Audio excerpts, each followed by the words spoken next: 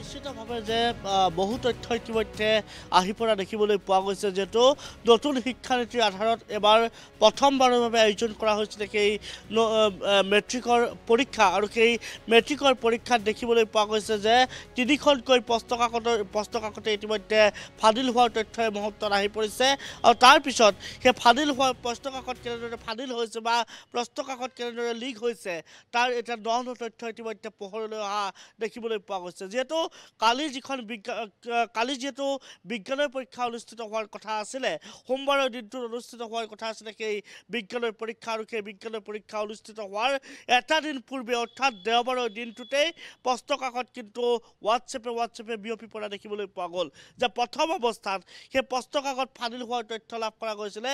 জাগুন ডিব্ৰুগড় অঞ্চলৰ ইতিমধ্যে সেই প্ৰশ্নকাকত ইতিমধ্যে ফাদিল হোৱাৰ তথ্য লাভ কৰা গৈছিল। আৰু তাৰপিছতে সেই ঠাইসমূহত ইতিমধ্যে তদন্ত প্ৰক্ৰিয়া আগবঢ়োৱা হ'ল আৰু পৰৱৰ্তী সময়লৈ দেখিবলৈ পোৱা গ'ল যে গুৱাহাটী মহানগৰীতো কিন্তু তাৰ এক প্ৰকাৰে আঁচুৰ পৰি যোৱা দেখিবলৈ পোৱা গৈছে। যিহেতু দিছপুৰ মণ্ডলৰ অধীনত যিখন আচলতে কাহিলীপাৰাৰ যিখন মুকবধিৰ বিদ্যালয় আছে সেইখন মুকবধি বিদ্যালয়তে এতিয়া সন্দেহৰ আৱৰ্তত সোমাই পৰা দেখিবলৈ পোৱা গৈছে। যিহেতু সেই মুকবধি বিদ্যালয়খনলৈ যিখন নিকটৱৰ্তী যিখন থানা আছিলে সেই থানাখনলৈ আচলতে পৰীক্ষাৰ প্ৰশ্নকাকতৰ বিজ্ঞান পৰীক্ষাৰ প্ৰশ্নকাকতৰ টোপোলা বহুদিন পূৰ্বে ইতিমধ্যে পঠিয়াই দিয়া হৈছিলে।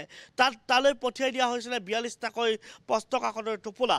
কিন্তু সেই বিয়াল্লিছটাকৈ প্ৰশ্নকাকতৰ টোপোলাতকৈ এটা টোপোলা কম গৈছে বুলি অৰ্থাৎ কালিৰ দিনটোত সেই তথ্য ইতিমধ্যে পোহৰলৈ অহা দেখিবলৈ পোৱা গৈছে।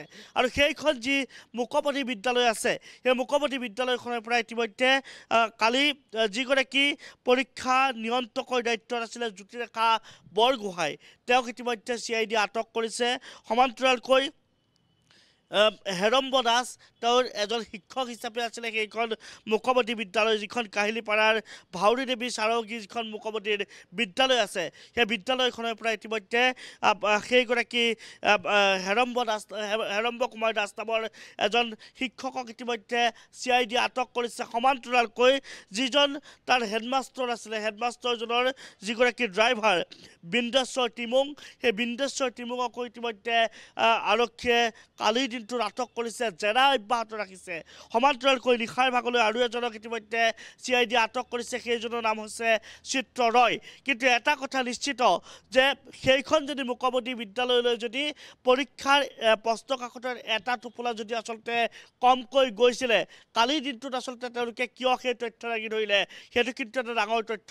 ডাঙৰ কথা ক'ব লাগিব যিহেতু ইয়াৰ পূৰ্বে প্ৰায় দহটা দিনৰ পূৰ্বে ইতিমধ্যে তেওঁলোকৰ নিকটৱৰ্তী থানাখনলৈ ইতিমধ্যে নিকট নিকটৱৰ্তী থানাৰ লোকাৰত ৰখা হৈছিলে বিয়াল্লিছটাকৈ টোপোলা বিজ্ঞান প্ৰশ্নকাকতৰ বিয়াল্লিছটাকৈ টোপোলা ইতিমধ্যে দিয়া হৈছিলে বুলি জানিব পৰা গৈছে। যিহেতু এটা টোপোলাত দহখনকৈ প্ৰশ্নকাকত আছিলে সেই তেনেদৰে বিয়াল্লিছটাকৈ টোপোলা ইতিমধ্যে পঠিয়াই দিয়া হৈছিলে। সেই নিকটৱৰ্তী থানাখনলৈ সেৱাৰ ফালৰ পৰা পঠিয়াই দিয়া হৈছিলে। কিন্তু তাত বিয়াল্লিছটাৰ বিপৰীতে কেৱল মাত্ৰ একচল্লিছটাকৈ টোপোলাহে ইতিমধ্যে লাভ কৰা বুলি তথ্য কালিৰ দিনটোত জনাইছে সেই মুকবতী বিদ্যালয়খনৰ পৰীক্ষা নিয়ন্ত্ৰকৰ দায়িত্বত থকা যিগৰাকী ৰেখামণি জ্যোতিৰেখা বৰগোহাঁই জ্যোতিৰেখা বৰগোহাঁই এটা কথা ইতিমধ্যে সেই কথা কালিৰ দিনটোত জনাইছে। সমান্তৰালকৈ যি আচলতে কম্পিউটাৰ ছায়েন্সৰ যি পৰীক্ষা আছিলে সেই কম্পিউটাৰ ছায়েন্সৰ পৰীক্ষাৰ প্ৰশ্নকাকতৰ এটা টোপোলা কিন্তু বেছিকৈ যোৱা বুলি ইতিমধ্যে জানিবলৈ দিয়া হৈছে।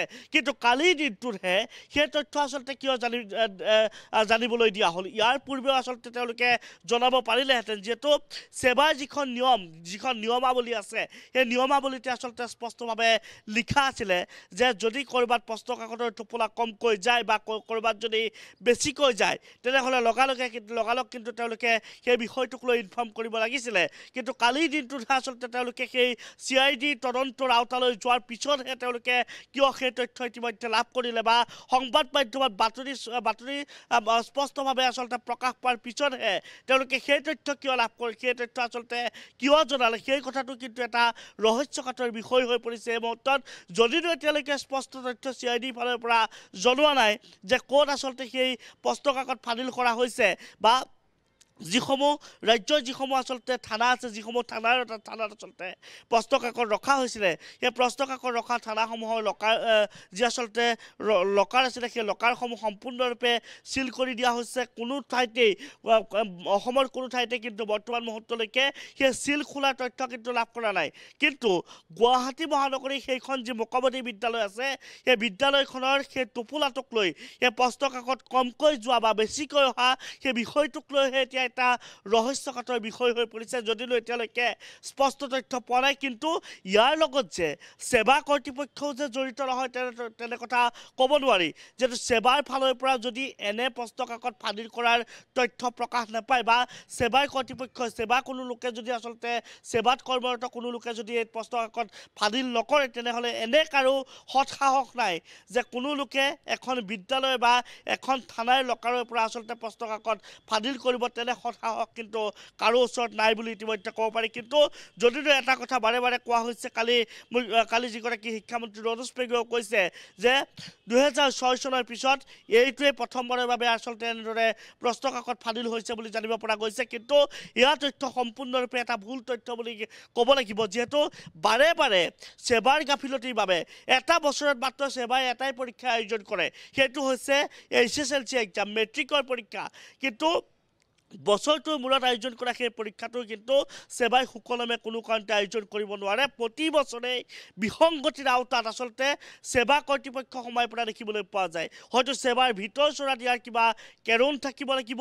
সেৱাৰ ভিতৰ চৰাইৰ পৰা আচলতে প্ৰশ্ন কাকত ফাদিল হ'ব লাগিব। যদি ৰাজ্যৰ কোনো থানাৰ পৰা যদি আচলতে লকাৰ লকাৰৰ পৰা আচলতে প্ৰশ্ন কাকত যদি লিক হোৱা নাই তেনেহ'লে সেৱা কৰ্তৃপক্ষ ইয়াৰ লগত জড়িত যে থাকিব লাগিব সেয়া কিন্তু আজিৰ দিনত প্ৰায় নিশ্চিত তথ্য নিশ্চিত বুলি ইতিমধ্যে ক'ব পাৰি যিহেতু যদিও সেই কথাটো বাৰে বাৰে শিক্ষা বিভাগৰ ফালৰ পৰা গাপ দিবলৈ চেষ্টা চলায় বাৰে বাৰে সেই বিষয়টো আচলতে তদন্তৰ আওতাৰ পৰা বাহিৰত ৰাখিবলৈ চেষ্টা কৰে কিন্তু এটা কথা নিশ্চিত সেৱা কৰ্তৃপক্ষ যে ইয়াৰ লগত জড়িত সেৱা কৰ্তৃপক্ষৰ হেমাহিৰ বাবে যে বাৰে বাৰে প্ৰশ্ন কাকত লিক হয় সেই কথাটো কিন্তু আজিৰ দিনত নিশ্চিত আপুনি। ঠিকেই কৈছে যিহেতু ইতিমধ্যে যি মুখ্য পৰীক্ষা নিয়ন্ত্ৰক আৰু নিয়ন্ত্ৰকগৰাকীক ইতিমধ্যে যিহেতু সোধপোছ কৰা হৈছে তিনিজন সেৱাৰ বিষয়াক চি আই ডিয়ে যিহেতু তলব কৰিছে কিন্তু ইয়াৰ পূৰ্বে কালিৰ দিনটো দেখিবলৈ পোৱা গৈছিলে শিক্ষামন্ত্ৰীগৰাকীয়ে বাৰে বাৰে আহ, দেখিবলৈ পোৱা গৈছে সেৱাৰ আহ, যি আচলতে বিষয়াক তেওঁক বাৰে বাৰে প্ৰশ্ন কৰা হৈছিলে বাৰম্বাৰ তেওঁ উল্লেখ কৰে যে সেৱাই কেৱল মেট্ৰিক পৰীক্ষা অনুষ্ঠিত নকৰে তৃতীয় চতুৰ্থ বৰ্গৰ পৰীক্ষা তেওঁ সুচাৰুৰূপে পালন কৰিছে বা পৰিচালনা কৰিছে বুলি বাৰম্বাৰ আচলতে আহ, তেওঁ দেখিবলৈ পোৱা গৈছে যে সুৰক্ষা প্ৰদান কৰি আহিছে। গতিকে এইখিনি মুহূৰ্তত যিহেতু তিনিগৰাকীকৈ বিষয়া কাৰ্যালয়লৈ তলব কৰা হৈছে সোধপোছ কৰা হৈছে। গতিকে সেৱাৰ এইখিনি ক্ষেত্ৰত গাফিলতি আছে বুলি এই মুহূৰ্তত যিটো চি আই ডি অনুসন্ধান চলাইছে আৰু তাৰ বিপৰীতে কিন্তু শিক্ষামন্ত্ৰীগৰাকীয়েও সেৱাক যি বাৰম্বাৰ সুৰক্ষা প্ৰদান কৰি থকাৰ যি এনেধৰণৰ মন্তব্য সেই মন্তব্য কিন্তু এতিয়া প্ৰশ্ন উদ্ৰেক কৰিছে। নিশ্চিতভাৱে যে এটা কথা নিশ্চিত যিহেতু সেৱাক সুৰক্ষা দিবলগীয়া হৈছে মন্ত্ৰী ৰণোজ পেগুৱে এই কাৰণে দিবলগীয়া হৈছে। সেৱাৰ ওপৰত যদি আচলতে আঙুলি উঠিবলগীয়া হয় তেনেহ'লে কিন্তু সেই গৈ সেইখন চকীত বহি থকা সেই সেই মুখ্য সেই শিক্ষামন্ত্ৰীৰ দৰে এখন গুৰুত্বপূৰ্ণ চকী এখন গুৰুত্বপূৰ্ণ আসন অলংকৃত কৰি থকা যিগৰাকী ব্যক্তি সেই ব্যক্তিগৰাকীৰ ব্যক্তিগৰাকীৰ ওপৰতো যে আঙুলি নুঠিব সেই কথাটো নুই কৰিব নোৱাৰি। যিহেতু বাৰে বাৰে সেৱাক তেওঁ ছেভ দিবলৈ এইকাৰণেই বিচাৰিছে যিহেতু সেৱাই ইয়াৰ পূৰ্বেও চতুৰ্থ বৰ্গ বা তৃতীয় বৰ্গৰ পৰীক্ষা ইতিমধ্যে আয়োজন কৰিছে। আমি সেই কথাটো নাই নুই কৰিব বিচৰা নাই কিন্তু তেওঁলোকে কেনেদৰে পৰীক্ষা আয়োজন কৰিছে সেই কথাটো প্ৰথমে গুৰুত্ব প্ৰদান কৰিব লাগিব। যে এতিয়ালৈকে যিসমূহ চৰকাৰী পৰীক্ষা আয়োজন কৰা হ'ল কোনটো পৰীক্ষাত বিসংগতি হোৱা নাই বুলি এতিয়ালৈকে ক'ব পাৰিব। যিহেতু প্ৰতিটো পৰীক্ষাতে দেখিবলৈ পোৱা যায় কিছু কিছু ক্ষেত্ৰত বিসংগতি কিন্তু অৱতাৰণা হৈ থাকে প্ৰতি প্ৰতি বিষয়তে। প্ৰতিটো পৰীক্ষাতে কিন্তু বিসংগতি অৱতাৰণা হোৱা দেখিবলৈ পোৱা যায়। আৰু আজিৰ দিনটোতো নিশ্চিত যে যদিও হয়, আচলতে সৌৰভ, চি আই ডিয়ে হয়, তলব আপুনি কৰিছে। হয় আপুনি গুৰুত্বপূৰ্ণ কথা এই মুহূৰ্তত উল্লেখ কৰিছে যিটো আমি দেখিবলৈ পাইছিলোঁ। তৃতীয় আৰু চতুৰ্থ বৰ্গৰ পৰীক্ষা যেতিয়া অনুষ্ঠিত হৈছিলে মোৰ এতিয়া মনত পৰিছে যিহেতু ইয়াৰ পূৰ্বে অনুৰূপ ঘটনা এনেকৈ আচলতে প্ৰশ্নকাকত ফাদিল হৈছিলে হোৱাটছআপ যোগে। এগৰাকী মহিলাক নগাঁৱৰ পৰা যিহেতু আটক কৰা হৈছিলে সোধপোছ কৰা হৈছিলে হোৱাটছআপ যোগে যিহেতু প্ৰশ্নকাকত ভাইৰেল হৈছিলে। আপোনাৰ নিশ্চয় মনত আছে আৰু পেটাৰ্ণটো একেধৰণৰ চাব মেট্ৰিক পৰীক্ষাৰ যেনেধৰণে আচলতে ভাইৰেল হৈছে সেই আচলতে যি লিখিত পৰীক্ষা আছিলে লিখিত পৰীক্ষাৰ যি প্ৰশ্ন কাকত ভাইৰেল হৈছিলে সদূৰ ঘটনাই কিন্তু সংঘটিত হৈছে। কিন্তু তাৰ পাছতো সেৱা কৰ্তৃপক্ষক গুৰুত্ব প্ৰদান নকৰিলে আজিৰ দিনটোতো যাৰ বাবে তীব্ৰ সমালোচনা কঠোৰ সমালোচনাৰ সন্মুখীন হৈছে। কালিৰ দিনটোত ৰাজ্যজুৰি প্ৰতিবাদ সাব্যস্ত কৰিছিলে বিভিন্ন দল সংগঠনে ওলাই আহিছিলে। লগতে শিক্ষামন্ত্ৰীগৰাকীক অপসাৰণ পদত্যাগ কৰাৰ আচলতে তেওঁলোকে দাবী উত্থাপন কৰিছিলে। কিন্তু তাৰ পাছতে দেখিবলৈ পোৱা গৈছিলে ৰাজ্য চৰকাৰখনে তৎকালীনভাৱে ব্যৱস্থা গ্ৰহণ কৰা। দেখিবলৈ পোৱা গ'ল চি আই ডি তদন্ত দিলে আৰু চি আই ডি তদন্ত আৰম্ভ কৰিলে। তাৰ পাছত এতিয়া ন ন তথ্য উন্মোচিত হৈছে। যিমানে গভীৰলৈ যাব। মই কৈছোৱেই যে যিমানেই গভীৰলৈ সোমাই যাব সিমানেই আচলতে তদন্তৰ ন ন তথ্য ইতিমধ্যে ওলাই পৰিব। ইয়াৰ কাৰণটো হৈছে যে ইয়াৰ ভিতৰচোৰাত যে কেৰুণ আছে সেই কথাটো আজিৰ দিনত প্ৰায় নিশ্চিত। যে ইয়াৰ ভিতৰচোৰাৰ পৰাই যে প্ৰশ্নকাকত লিক হয় সেই কথাটো নিশ্চিত। কিন্তু এই বিষয়টো যিগৰাকী শিক্ষামন্ত্ৰী ৰণোজ পেগু ৰণোজ পেগুৱে কিন্তু প্ৰতি মুহূৰ্ততেই গাপ দি থ'বলৈ বিচৰা হৈছে বিচাৰিছে তেওঁ সেই বিষয়টোৱে। যিহেতু তেওঁ কালি এটা অনৰ্থক উত্তৰ দিয়া দেখিবলৈ পোৱা গৈছে। সাংবাদিকৰ প্ৰশ্নৰ উত্তৰত তেওঁ এটা অনৰ্থক উত্তৰ দিছে যে দুহেজাৰ ছয় চনৰ পৰা মেট্ৰিকৰ প্ৰশ্নকাকত আজি পৰ্যন্ত অৰ্থাৎ সোতৰ বছৰ ধৰি তেওঁ প্ৰশ্নকাকত লিক হোৱা নাই বুলি তেওঁ জানিবলৈ দিছে। এয়া সম্পূৰ্ণৰূপে এটা অনৰ্থক কথা। যিহেতু বাৰে বাৰে প্ৰতি বছৰে দেখিবলৈ পোৱা যায় যে পৰীক্ষা দিবলৈ যোৱা যিসকল ছাত্ৰ ছাত্ৰী তেওঁলোকে হতাশাত ভুগিবলগীয়া হয়। তেওঁলোকে পৰীক্ষা দিবলৈ যোৱাৰ প্ৰাক মুহূৰ্তত খবৰ আহে যে পৰীক্ষা কাগজ পৰীক্ষাৰ প্ৰশ্নকাকত লিক হৈছে। কাৰোবাৰ হোৱাটছএপ হোৱাটছএপে হোৱাটছএপে হোৱাটছএপে আচলতে প্ৰশ্নকাকত বিয়পি পৰিছে। যিহেতু ইমান তন্ন তন্নকৈ পৰীক্ষা কৰা হয় যে এজন ছাত্ৰ পৰীক্ষা হললৈ সোমোৱাৰ পূৰ্বে ইমান তন্ন তন্নকৈ পৰীক্ষা কৰা হয় যে তেওঁ হাতত কোনো ইলেক্ট্ৰনিক বস্তু আচলতে ভিতৰলৈ সোমোৱাই নিব নোৱাৰিব তেওঁ। হাতত কলম পেঞ্চিলডালৰ বাহিৰে তেওঁ কোনো সামগ্ৰী কোনো ইলেক্ট্ৰনিক সামগ্ৰীয়ে যিহেতু ভিতৰলৈ সোমোৱাই নিব নোৱাৰে তাৰ পিছতো কেনেদৰে হোৱাটছএপত প্ৰশ্নকাকত লিক হয় যদি তাত থকা কোনো বিষয়াই যদি লিক নকৰে তাত থকা কোনো যদি আচলতে কৰ্মত নিয়োজিত হৈ থকা কোনো আচলতে শিক্ষক কৰ্তৃপক্ষ সেৱা কৰ্তৃপক্ষই যদি আচলতে তাত সহযোগিতা আগন আগনবঢ়ায় তেনেহ'লে কোন ছাত্ৰ ছাত্ৰীয়ে আচলতে তাত মোবাইল ফোন ব্যৱহাৰ কৰিব পাৰিব?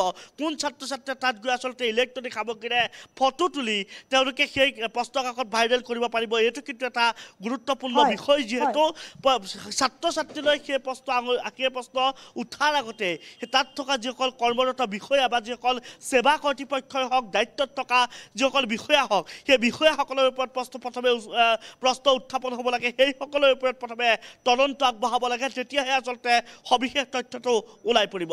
হয় সৌৰভ আপুনি ঠিকেই কৈছে যিহেতু পৰীক্ষা অনুষ্ঠিত কৰা সময়খিনিত ছাত্ৰ ছাত্ৰীৰ ক্ষেত্ৰত যিখিনি আচলতে নীতি নিৰ্ধাৰণ কৰা হৈছে আপুনি কৈছে ইতিমধ্যে একো বস্তুৱে নিবলৈ নিয়া নহয়। গতিকে তেনে ক্ষেত্ৰত যিসকল আচলতে পৰীক্ষাৰ ডিউটি দিয়া হয় যিসকল শিক্ষক শিক্ষয়িত্ৰীক তাৰ দায়িত্ব দিয়া হয় তেওঁলোককো আচলতে পৰীক্ষা হলত মোবাইল ফোনৰ ধৰণৰ আচলতে কোনো ধৰণৰ ইলেক্ট্ৰনিক গেজেট ব্যৱহাৰ কৰাৰ অনুমতি নাথাকে। গতিকে তেনে ক্ষেত্ৰত এনেধৰণৰ বিসংগতি বা এনেধৰণৰ বেমেজালি বা এনেধৰণৰ প্ৰশ্নকাকত ভাইৰেল হোৱাৰ বিষয়টো এটা ডাঙৰ প্ৰশ্ন হৈ পৰিছে।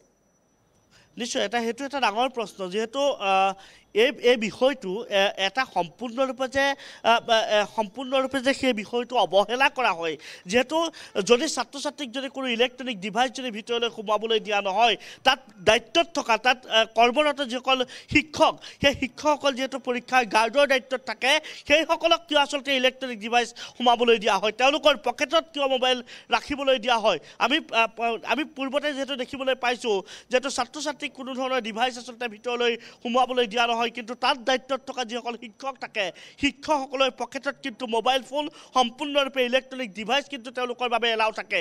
এই ক্ষেত্ৰতো কিয় গুৰুত্ব প্ৰদান কৰা নহয়? হয়। সেৱাই এই ক্ষেত্ৰত কিয় ইনষ্ট্ৰাকশ্যন এতিয়ালৈকে দিব পৰা নাই? এই ক্ষেত্ৰত কঠোৰ হ'ব পৰা নাই কিয় সেৱা? যিহেতু সেৱা কৰ্তৃপক্ষ ইয়াৰ লগত হেমাহি আছে। সেৱা কৰ্তৃপক্ষই বাৰে বাৰে হেমাহিৰ বলি হ'বলগীয়া হৈছে। বাৰে বাৰে আচলতে এই ঘটনাৰ সাক্ষী হৈ ৰোৱাৰ পিছতো কিন্তু সেই সেৱা কৰ্তৃপক্ষই এতিয়ালৈকে কোনো ধৰণৰ শিক্ষা গ্ৰহণ কৰা নাই। যিহেতু আজিৰ দিনটোত সেই তৃতীয়খন তৃতীয় তিনিখনকৈ প্ৰশ্নকাকত ফাদিল হৈ গ'ল। প্ৰথমখন ফাদিল হোৱাৰ পিছতেই প্ৰথমখন প্ৰশ্নকাকত ফাদিল হোৱাৰ পিছতেই কিন্তু সেৱা কৰ্তৃপক্ষ কঠোৰ হৈ পৰিব লাগিছিলে। ৰাজ্যৰ শিক্ষা বিভাগ কঠোৰ হৈ পৰিব লাগিছিলে। ৰাজ্যৰ মুখ্যমন্ত্ৰীগৰাকীও যথেষ্ট কঠোৰতা অৱলম্বন কৰিব লাগিছিলে। কিন্তু প্ৰথমখন লিক হ'ল দ্বিতীয়খন লিক হ'ল তৃতীয়খনো লিক হ'ল। এই তিনিখনকৈ প্ৰশ্নকাকত লেঠাউৰিকৈ তিনিখনকৈ প্ৰশ্নকাকত কেনেকৈ লিক হ'বলৈ পালে যিহেতু সেয়া এটা এটা বৰ্ডৰ বাবে এখন বৰ্ডৰ বাবে কিন্তু সেয়া সম্পূৰ্ণৰূপে হেমাহি সম্পূৰ্ণৰূপে গাফিলতি সম্পূৰ্ণৰূপে অমানৱীয় এটা কাণ্ড কাণ্ড হোৱা বুলি আচলতে ক'ব লাগিব। তেওঁলোকৰ সম্পূৰ্ণৰূপে কাণ্ডজ্ঞানহীন কৰ্মজ্ঞানহীনভাৱে আচলতে এই ঘটনাটো যে সংঘটিত হৈছে সেই কথাটো কিন্তু আজিৰ দিনত প্ৰায় নিশ্চিত হৈ পৰিছে। হয় ধন্যবাদ জনাইছোঁ সৌৰভনাথ সবিশেষ তথ্য জনোৱাৰ বাবে পৰৱৰ্তী সময়ত পুনৰবাৰ সংযুক্ত হ'ম। আৰু এই মুহূৰ্তত আমি জনাইছোঁ যিহেতু ৰাজ্যৰ বিভিন্ন স্থানৰ পৰা এতিয়া নতুন নতুন তথ্য যিহেতু ফাদিল হৈছে এই মুহূৰ্তত আমি জনাইছোঁ পেপাৰ লিক যিহেতু প্ৰশ্নকাকত ফাদিল কাণ্ডৰ যি তদন্ত পূৰ্ণগতিত চলি আছে সেই পূৰ্ণগতিত চলি থকা তদন্তৰে আমি নতুন খবৰ জনাব বিচাৰিছোঁ। মহানগৰীৰ এটা কেন্দ্ৰত তিনিজনকৈ বিষয়া কৰ্মচাৰীক গ্ৰেপ্তাৰ কৰা হৈছে আৰু দীৰ্ঘ সময় জেৰাৰ অন্তত ইতিমধ্যে চি আই ডিয়ে গ্ৰেপ্তাৰ কৰিলে তিনিওকে। আৰু ভাউৰী দেৱী চেৰাউগী মুকবধিৰ বিদ্যালয় কেন্দ্ৰত অনিয়ম সংঘটিত হোৱাৰ যি তথ্য লাভ কৰিছিলে কেন্দ্ৰটোৰ ভাৰপ্ৰাপ্ত বিষয়া জ্যোতিৰেখা বৰগোহাঁইকো গ্ৰেপ্তাৰ কৰা হৈছে। ইফালে গ্ৰেপ্তাৰ কৰা হৈছে কেন্দ্ৰটোৰ এজন শিক্ষকসহ কৰ্মচাৰীকো।